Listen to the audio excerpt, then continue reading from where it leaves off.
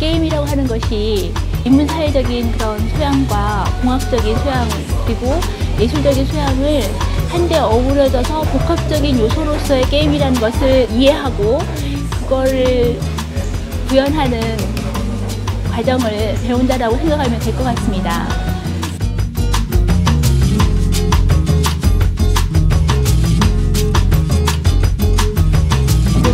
홍익대학교 게임학부는 다른 학과학은 다르게 어, 프로그래밍과 아트 동시에 전공 과정을 하나의 학부에서 제공함으로써 보다 게임 개발에 유리한 환경을 제공하고 있습니다. 이 점을 잘 활용한다면 그래픽과 프로그래밍 두 분야에 있어서 서로 간의 이해도가 높은 특화된 인재가 될 수 있을 거로 생각합니다.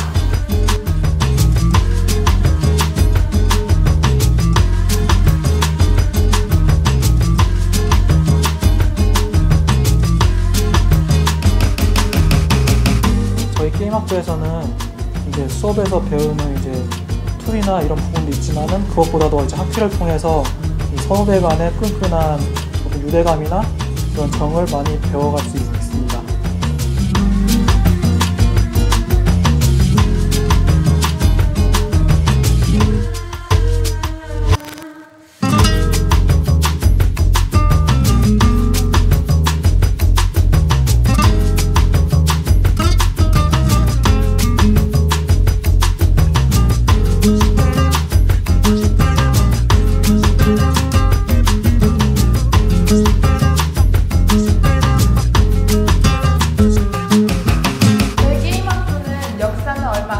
안 됐지만 탄탄한 교수진과 뛰어난 학생들이 꿈을 키워가는 멋진 곳입니다. 에서는 이제 저희 과를 좀 좋게 보고 있어요. 좋은 시선으로 바라보고 있으니까 후배분들은 자부심을 가지고 그냥 자기가 하고 싶은 일에 열심히 노력을 해주셨으면 합니다. 여러분은 게임을 전공했다는 것만으로도 무한한 가능성과 성공을 약속받은 것이라고 할 수 있겠습니다. 게임학부에 오시면 언제나 즐거움 이 있습니다.